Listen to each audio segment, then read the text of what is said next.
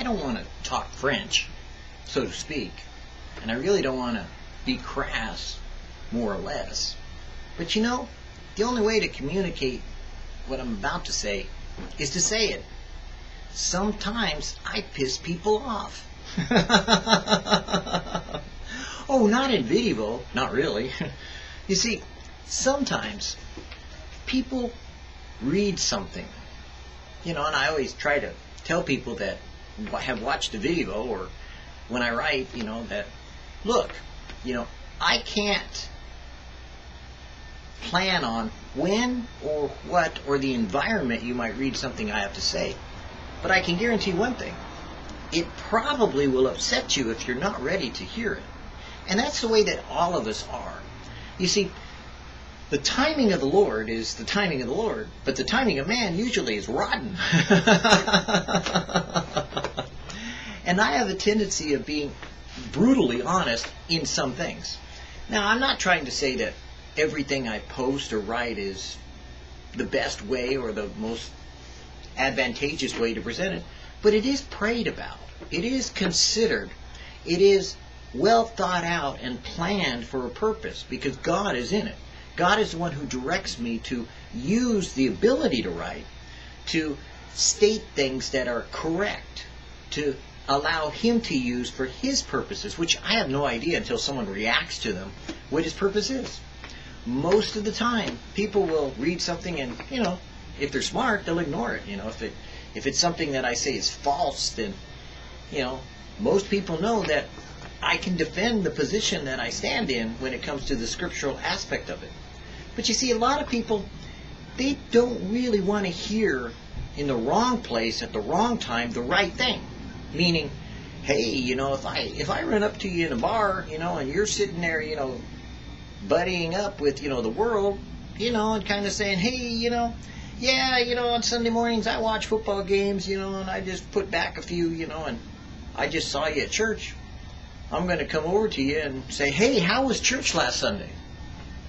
You know, and you may not want to be reminded that you went to church when you're with those kind of buddies because, hey, sorry, you know, I'm not one of those kind of people that can compromise directly just to spare your pride or ego.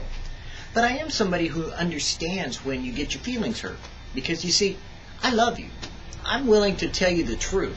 I'm willing to admit to you that there may be something that you said that's deceiving someone else, that's leading someone else in the wrong direction.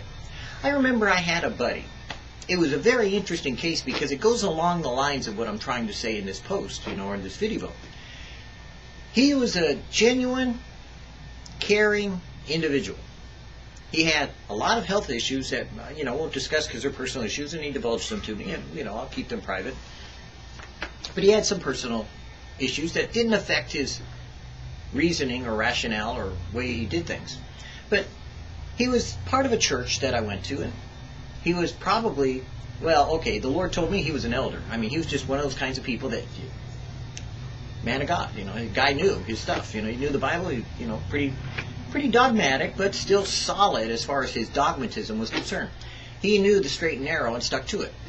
And so I was fascinated by that because, you know, it's like, well, you know, usually when you find somebody that's that dogmatic, they're kind of like hiding something else. Well, you know, as it turned out, you know, once he had already been used by the Lord in this venue that we were both in, you know, this church, then God used him to confront somebody, and you know they were in error, you know, because they were breaking the law basically, and they were confronted by him because he's actually a person that deals with the law. So he had to say something, and the person would not change their way, so he reported them. he had to. It was his position that was at jeopardy. And so, having said that, unfortunately, I had to break off contact with him later because he started sending me these emails. You know the kind of emails. You know, you're sitting around at work, you know, and somebody sends you an email and you look at it and you go, that's funny. You know, it's kind of makes fun of someone, you know. It shows them in a negative light. It tends to, you know, maybe tear them down a little bit, but it's not that bad, you know. It's not, not that bad, you know. You kind of, you kind of look at a few of them and you go, oh, okay, you know. Then you gradually learn to ignore them because, you know, one man's liberty is another man's grace, and you extend mercy to people that, you know, they don't know any better, so you try to ignore it, you know, and you, you deal with it and you set it aside. But the funny thing was, was that what started off as casual suddenly became worse. I started getting these unbelievably provocative pictures of voluptuous women. And I was shocked. I thought, well, why are they coming in my email? And it turned out to be from this gentleman, you know, that I knew. And I thought, you know, I told him and I wrote back and I said, look, you know, I don't know what you're looking at, but, you know, frankly, I don't think it's wise. I think you should not be doing this, you know. And he never really responded, just kind of kept sending them because he was sending them to everybody. You know, people in law enforcement, people in all kinds of varieties of society, they were all kind of like, you know, amused by it because it was one of those kind of things. You know, they were technically funny, edgy to the point of being questionable. Definitely not something a conservative Christian would do, but, you know, not something that a Christian might not do. Then they progressed. Suddenly I was confronted with an issue that I had to deal with. The man was sending topless, technically topless, pictures around that I said, you know what? I wouldn't want anyone to be seeing this. So I finally told him, you know, I'm going to have to cut you off if you keep sending this kind of email. And I didn't get a response, so he sent a few more, and I cut him off. Then I noticed my wife was getting them. And I went, whoa. And I drew the line. So we had to, you know, kind of distance ourselves, you know, from that. And one man's opinion, you know, that got ticked off of me probably separated a friendship that we've had for a while, you know. And he, you know, is doing his thing, you know, and unfortunately he may not see it as being bad, and I've confronted the issue and dealt with it and left it in the Lord's hands. The same thing happens to me on the internet. You see, I see people that think it's just funny. You know, uh, you know, let's let's dress up, you know, the president like in a dress, or let's you know call him a Nazi or something, some lie. You know, I don't know about you, but when I was in the Marine Corps in my day, if you did something to your commanding general, or your general or your lieutenant or anyone else up the chain of command, you were out the chain of command. You were excused from the military, period. No questions asked, you were gone. Because it was a question of honor. Now, I learned something from a pastor called Romaine that told me how to evaluate all these things that we see on the internet. He said, put Jesus in it, and if you can say that it's honorable and it's glorious and it's honoring Him and it's glorifying Him, then you have no problem with it. Well, you know, there's a lot of stuff out there that maybe people shouldn't be passing around because it doesn't do anybody any good. They think it's funny, but the reality is it's not. And gradually, you know, I've had to confront people like with some things that, you know, they, they start telling me, you know, like, oh, you know, you gotta keep the Sabbath or whatever. You know, and I'll say false because one of the things that happens a lot on the internet is people will post things thinking that they're only writing to one or two people.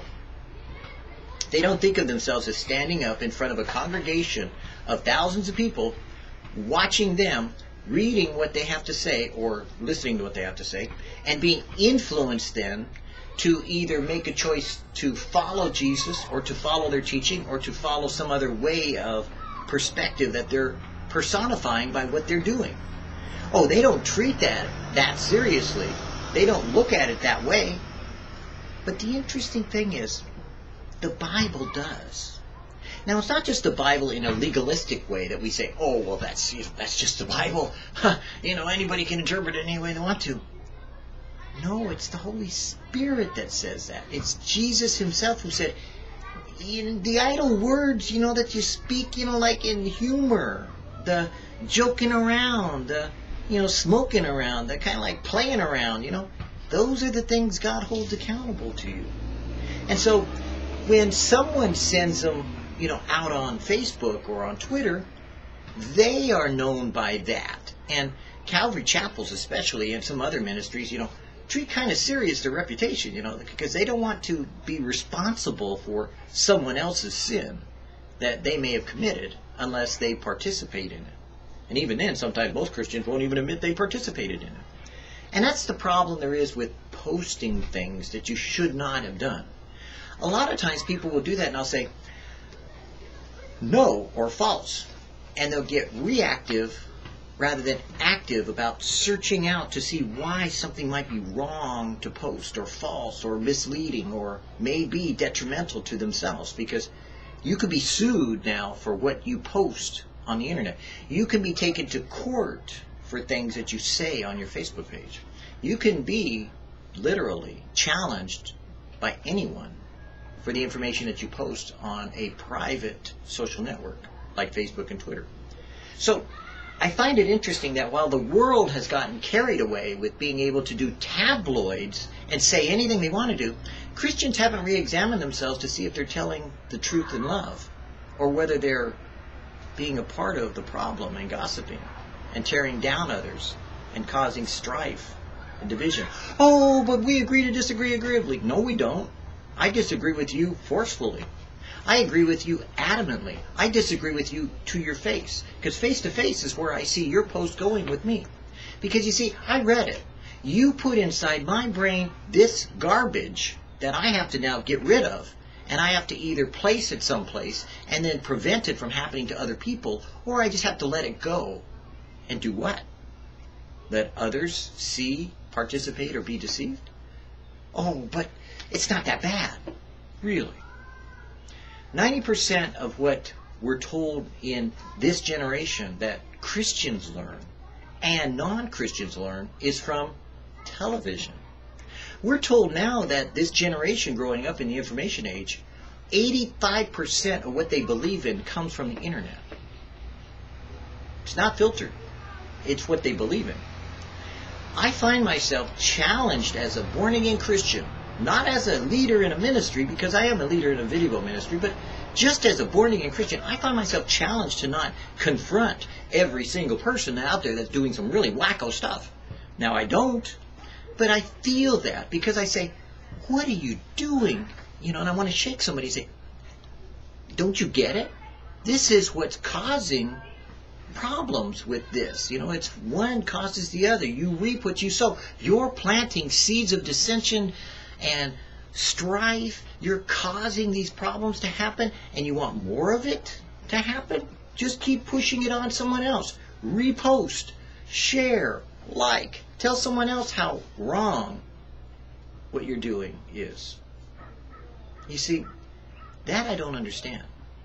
So I find it interesting that I tend to, no offense, I want to say the words one more time, piss some people off it's almost like provocateur. You know, God wants us to provoke one another to love. And believe me, I am one of those persons who is provoking you to love. Trust me, I am. Now, I'm not really meaning to do it the way I am doing it, but that seems to happen sometimes. Can you love someone like me who just told you you're wrong and then prove it? Are you willing to examine the truth, mano a mano, and say, you know, you're right. I have had interestingly enough, lots of conversations with people that like me or care about what I say because they don't really know me because otherwise they wouldn't even got ticked off in the first place. But like me in some way or something that I'm saying, and then they get mad and they leave. They disappear from Facebook. They're they're gone. They un, unfriend me or whatever it is. A few weeks down the road, some of them will contact me and say, you know, I don't know what got into me. I was having a bad day, or you know, whatever it may be. You know, and I'm like, yeah, okay, you know, didn't change my opinion of you. I still love you. You know, I loved you when you posted something wrong. I loved you when you posted something right. I don't change my choice to love you. I only comment on what you're doing at the time. If I see a brother in sin, I'll say, you're in sin, dude. You know, you're screwed up. If I see someone walking in the street, I'll say, hey, you know what? You're walking in the street. If I see someone walking the straight and narrow, I'll say, hey, you know what? You're walking the straight and narrow. I don't have to compromise what I see because I have to testify to what I know. I am a witness of my own sinfulness as well as a witness of everyone else's righteousness and sinfulness. Both. Because what I see, someone could ask me. And what I testify to is the truth that I have perceived with my own hands, my own eyes, and my own ears, that I've looked at and examined in light of what the Scripture says. So you see, when you are a witness to Jesus Christ. You're not just a witness for the gospel's sake only. You're a witness to the examples of what people are doing, and you are getting the opportunity to share the mercy and grace that the God of our fathers, Abraham, Isaac, and Jacob, as well as, you know, whoever you want to say, you know, Martin, Luther, King, John, whatever. Um, you are an exemplar or an exemplar of giving out grace to those who have been caught up in the flesh so that they could come back to you and share with you and once again restore fellowship. But you don't have to sit there and say, oh, it's funny. No. As a matter of fact, you probably should go, you think that's funny? And you know, I used to answer, and I know this is going to happen, you know, because it happened at Big Calvary until Romaine finally said something about it in one of the meetings. But Big Calvary people used to ask me, "How you doing?" And I'd say, "Not too good." They go, "Ooh," and walk away. Or I'd say, "Well, you know, I got a headache and a backache," and walk away. Whenever I want, "Fine, great, how you doing? Wonderful." You know, and I'd go see, and they'd be yelling at their kids or doing whatever, you know, because I'd follow them. I'd go see how they were doing because I was curious. Is this a platitude or is this a question? Because Jesus said something interesting to the people. He said, let your yes be yes and let your no be no. Don't forswear yourself by the temple, by the flag of the United States of America. Don't swear allegiance to anything or anyone, not even by God's own throne, because that's not your authority to be able to do. Jesus said, don't do it, but rather trust in the Lord with all your heart, to turn to Him, ask Him what you should do. And you know, I kind of got it, but I don't know that everyone got the same message, you know, because I see everyone else doing the opposite, you know. And so I always wonder sometimes when I'm asking them, hey, did you read this part? And they think I'm a rebel rouser or causing some division or strife, and I'm really just asking, hey, maybe you didn't know what the scripture says. Or maybe you didn't understand what Jesus said. Because that's the bottom line, is that I don't really care per se what you do for yourself when it comes to salvation because if you're saved, you're saved. I'm not going to worry about you. What I care about is when you post something or write something that has the power of influence to mislead or deceive or to cause someone to stumble you know, I just don't want children looking at some of the things you might be posting. I don't want adults reading some of the things that are misleading. I don't really want to see anyone wind up in hell that I couldn't have somehow prevented them making the wrong choice because someone else offered them multiple choice questions when there was really only one answer to what they were asking. You see, that means there are times where, yes, you and I won't agree. Maybe you'll be right. And maybe I'll have to mm, swallow my pride and come to you and say, sorry. No, forgive me. No. But basically come to you and say, you know, that was a good word you gave me. Thank you. Because you see, we're told in Proverbs, a very interesting thing that I learned really young, was that rebuke a wise man and he'll thank you. 90% of the time, I don't hear much thanking about what I might be saying, disagreeing. But every now and then, like I said, I'll get these people to come back to me and share. And you know, I love them because they're they're humble enough and they're wiser than I am to come back and say, you know, it doesn't matter what I what I believed in. What matters is I care more about our friendship than I care about being right. And you know, they don't say it in those words or terms, but that's what they mean, you know, because they'd rather have the communion of the fellowship of His Spirit than to have the confrontation and contention that has gone on between us. Because we're told in the scriptures that if your brother has aught against you, then go and reconcile yourself to your brother. Otherwise, don't even bother coming to the temple. And usually it takes, oh, I don't know, about a year or two sometimes for some pastor to get to that message, for some person to come back to me and share with me what they felt I had offended or they had offended or been offended by something that I wrote, because usually they're not offended by anything I do videos on, because they think I'm a nut. But in videos, at least I get the chance. At least there's the opportunity to confront the situation and recognize what the bottom line is And that's the carnality of where that person is coming from. Because the one thing I'll always ask them every time that it boils down to it, bottom line, if they just go through this whole long line of trying to argue about it, did you do what Jesus said? Did you ask him? Really? No, they didn't. It's obvious. Am I carnally minded? Where there are envy, strife, and divisions among you, are you not carnal? 1 Corinthians 3 3. The natural man or unbeliever knows nothing about carnality. The desires of the flesh warring against the flesh, or the, I should say, the desires of the flesh warring against the spirit, and the spirit warring against the flesh, which began at rebirth, are what produce carnality and the awareness of it. Think about that. The natural man with his lust thereof, serving his own flesh, is not at war with carnality, but rather the person who has become born again is the one who is struggling with carnality. Because only when you are warring against the flesh and the flesh against the spirit and the spirit against the flesh are you even aware that there is such a thing as carnality.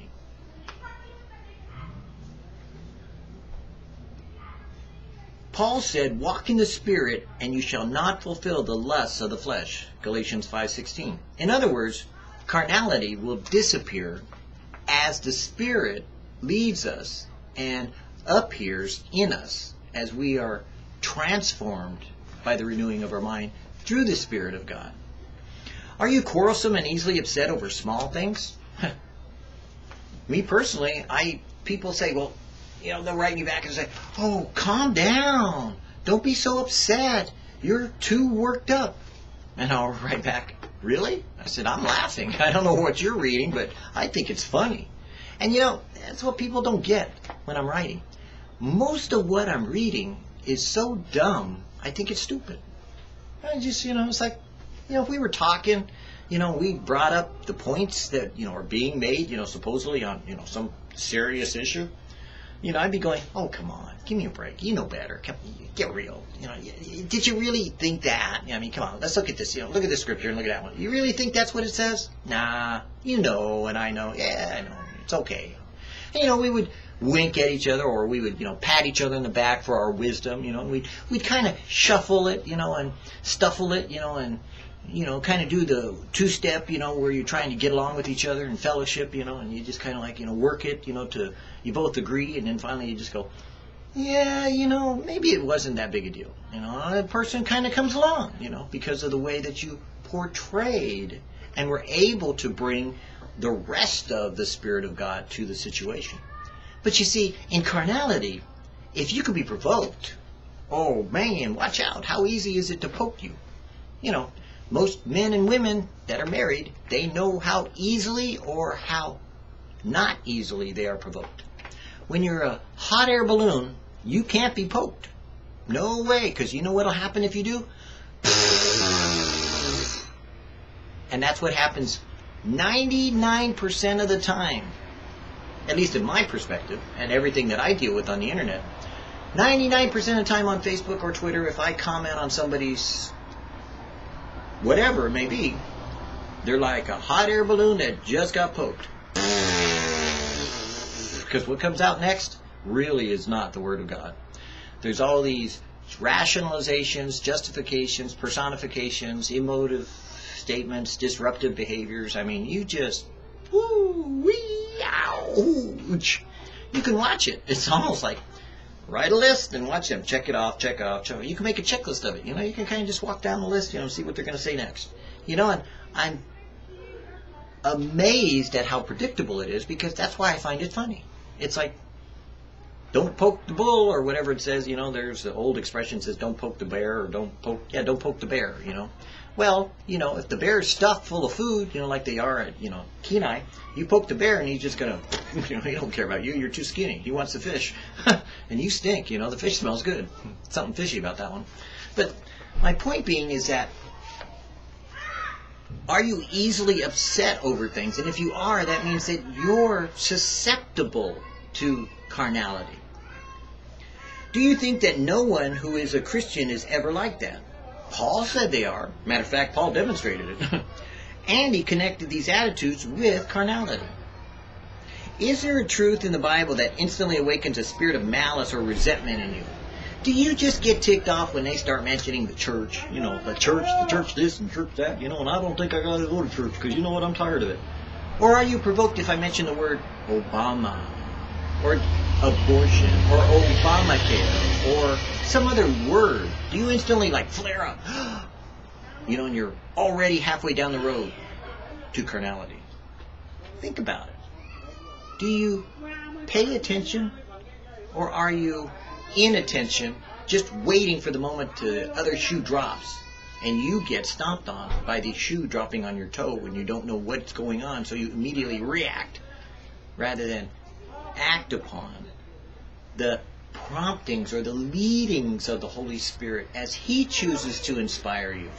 Or do you feel like it's all conspired against you to cause you to be provoked and mad? Stop it, chomp it, yell about it. If so, that is the proof that you are still carnal. In other words, if you can be provoked, if you're mad at me, you're carnal. Because you know, I, I frankly don't see much problems with letting you vent your thing and going on with what I'm stating. Because you see, that's what I usually do. I'll state, you know, my case and then I'll let it go. And I'm off doing something else because I'll post like 60 or 70 posts, you know, in a day. And I don't have time to worry about, you know, emotionally attached to anything. But people tend to do that now is they're getting emotionally attached to some statement or word they said rather than realize they may have shot off something they didn't mean to say and they can't really retract it now because it's out there to the end of days literally especially on a computer you really should be careful about what you think is on the internet and disappears it ain't gone it's out there still and a lot more people see it than you think. Your friends may only be two, but they get passed around, and guess what? that two is 2,000.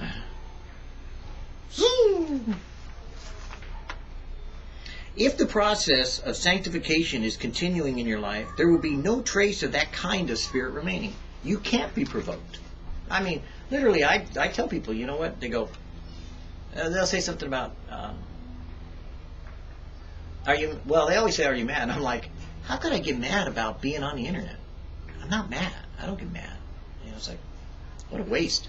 I got too much energy challenges, meaning that I put a lot of time and energy into some of the things that I'm doing that I really get excited about and I'm enjoying, you know, as far as posting, and they take a lot of energy in order to do it, in order to put into it my emotive capabilities of writing, as well as the structure of what I'm doing, you know, sometimes on web design and other things about posting, you know, as well as the pictures and selecting and choosing and then doing the research behind some of the posts that are off the wall and doing kind of weird things, you know, that do I really have time to get mad? Please, you know, what a waste of energy. I don't get mad because it is a waste of energy. That's what I discovered a long time ago. I'm not provoked that way. I can be provoked about some things, you know, and I think that they do provoke me. But you see, when I know I'm provoked, I go, Lord, get them. They provoke me, and I go this way. You know, it's like stick something in my stomach, and I look up, God, you see that? Get them. Because my first reaction is, hey, I want God to get them. You know, I, I really do want God to get them because, you know, if I have to intercede for you, that's different because then I got to kind of like, you know, get rid of my carnality because I'm carnal with God. Don't get me wrong. When I pray for you, God help you, because I may be praying, you know, like David, cast their babies on stones. Now that don't sound like a man of God to me, but he said, smite their little ones with stones and smash them to bits. That's David the king. That's a man of God. wow. For some of you, that's your kind of man. For me, that's disgusting. That's David in carnality. But the point is, is I'll pray to God to get you, you know, within limits and to convict you within reason, you know, and to hold your little skinny body over the coals of fires of hell. No, he doesn't do that kind of stuff. No, but I'll pray that he'll, you know, work in your circumstances, you know, to inspire you. All he has to do is just simply love on you and you'll fall apart. I know, I'm there. Whenever I get mad, God loves on me. I can't stay mad when you love me like this. It's not fair. You don't fight fair. You fight dirty. You love me. And that's the problem that most people have. They don't realize I love them anyways. I don't care what you're doing. That's stupid, you know. It's like, well, yeah, you did something stupid, but so what? I love you. You know, it doesn't bother me. What I do care is if it bothers someone else. So, you know, I got to go pick up the pieces of what you did. And believe me, I have picked up the pieces of a lot of ministries I've seen around. And I'll go back over and kind of like, you know, talk to some people that really need some tender, loving care and assuaging the heart. Because there have been some things done to them that we wouldn't call that Christian. if the Spirit of God detects anything in you that is wrong, He doesn't ask you to make it right. He only asks you to accept the light of truth, and then He will make it right. And you know, that's the key issue that I've had all along with posting and sharing with people and caring enough to tell you the truth. It's not about being wrong or right. Never has been. I'm not wrong and I'm not right. I'm just telling the truth. Because it always boils down to Proverbs 3, 5, and 6 and James 1, 5. You can ask God anytime what to do. And you could be led by God anytime you want to. The difference is, are you and will you and can you and did you? Because most of the time, you know, and I'm pretty well aware of it, you didn't. Nope, didn't ask about that one. I just went out and shot my mouth off. Because after all, I don't need to ask God about everything. No, you don't. Proverbs 3, 5, and 6 says, if you're being led by Him, you do, but forget that. Who wants to be led by the Spirit of God? Go your way. Good luck. A child of the light will confess instantly and stand completely open before God. I did it. The buck stops here. I did it. And even if I didn't do it, I probably did. And somehow I provoked it. And you know what? Because I provoked it and because I was involved in it, it must have been me because I'm the wiser one and I'm the smarter one. I'm the more mature. So guess what? I'll take all the blame and you just take it over and take it away from me and take over it. And take care of it. yeah. I was trained right. I've been potty trained. I don't carry poop in my diapers. Do you? Are you carrying around all that garbage in your diapers? I mean, come on now. Grow up. Get rid of it. Start being real with your God. He already knows who's at fault. You are. but a child of the darkness will say, Oh, I can explain that. And they bother going about it. And I'm always dumbfounded by the explanations. Because I know the majority of the time that you hear people explain things, it's always stupid. You know, you, you kind of look at it and you go, really? That's your explanation? Man, that's even dumber than your, your reason for, that's even dumber than the thing that you did in the first place. And then it gets deeper. Have you ever noticed that? One explanation leads to another, and it gets farther and farther away from the problem itself. Which really was, uh, okay, you know, and I, I used to tell people the greatest thing that God can hear from you or that you could do whenever someone confronts you is just simply say, okay, and then step back, step away, go by yourself alone and pray. Hear that? Say, okay, and then walk away and go pray.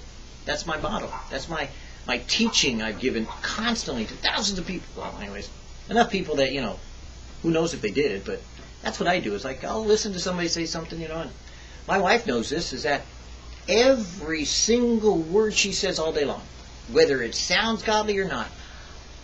It's recorded in my ears. I listen to it. I think about it. I ponder it. By the end of the day, I'm still probably working on it, you know, and I'm going, okay, you know, and I take it to God and I try to leave it there, or else I go, well, you know, maybe maybe I'm wrong or something. You know, she says something, you know, kind of like usually no, but it's possible. That's why I'm always checking. I'm hoping please God, make me wrong, you know, so that you could be right. You know?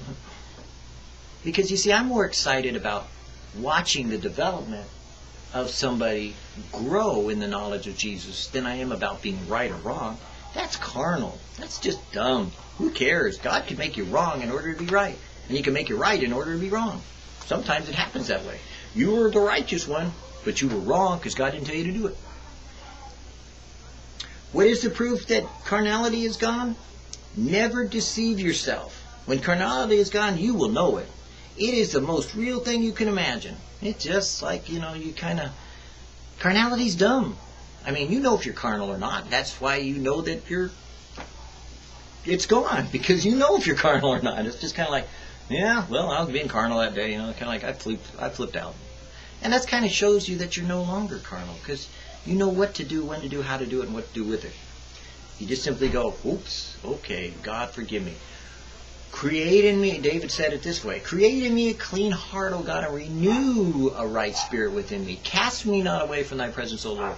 Take not thy Holy Spirit from me.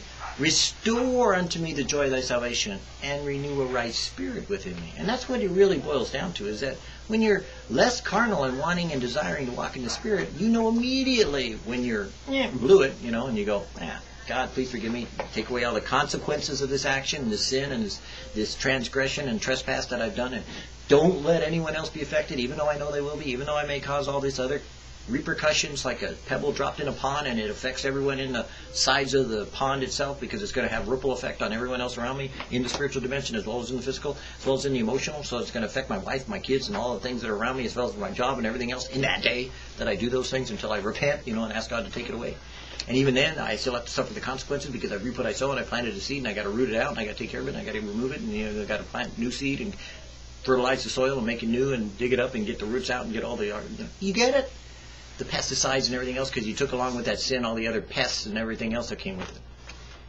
You didn't know life was like that, did you?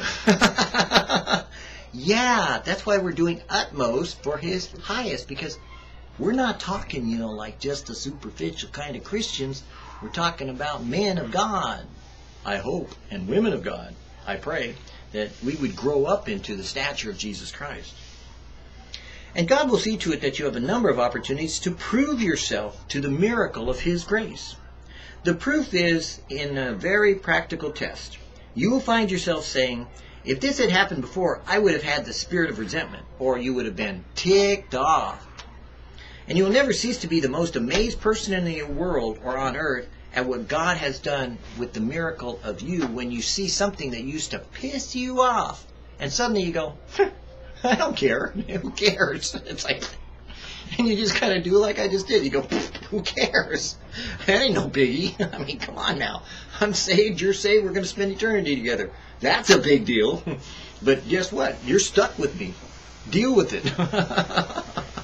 And that's the reality of when you find you're less carnal and more operating according to the Spirit of God, when you can look at everyone that way and say, little do they know, they're, they're wrong, but they're going to have to deal with me, you know, and we got each other for eternity. God bless you, because you know what?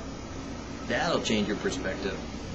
I pray that you will find yourself not like a hot air balloon easily provoked and, you know, spewing out your hot air, you know, afterwards because you got poked, you know, but rather you'd find yourself laughing more, living less on the defensive and more in the comprehension of the joy of the Lord that God can give you that it can't be taken away unless you let it happen to you by getting upset over something you need not have been worried about in the first place.